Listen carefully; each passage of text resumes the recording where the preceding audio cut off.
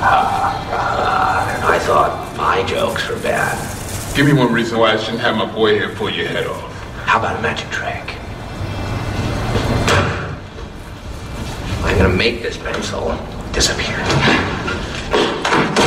Ah! It's it's gone. Oh, and by the way, the suit, it wasn't cheap. You ought to know you bought it. Shit. I won't do him to hear.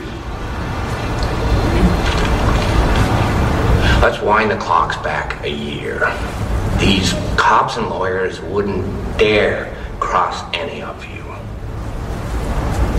I mean, what happened? Did your, your balls drop off? Hmm? You, you see, a guy like me, Freak. a guy like me, look, listen.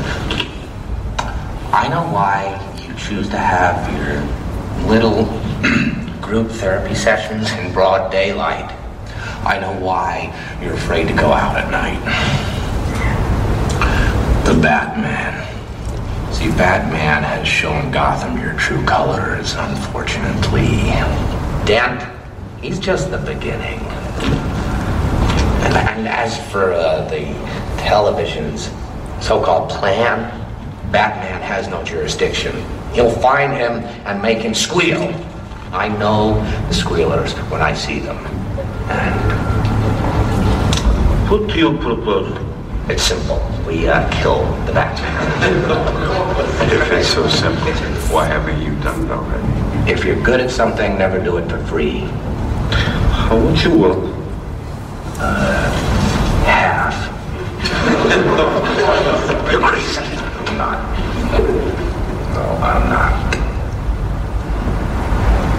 If we don't deal with this now, soon, little uh, Gambol here won't be able to get a nickel for his grandma. Enough from the clown. Uh, let's not blow this out of proportion.